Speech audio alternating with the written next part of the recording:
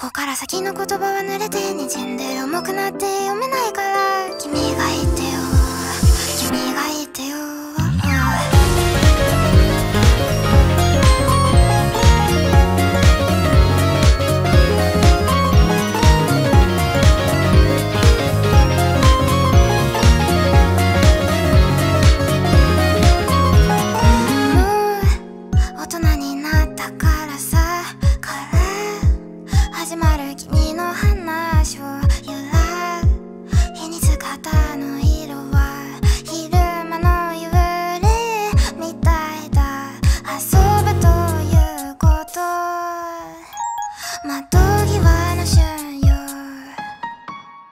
♪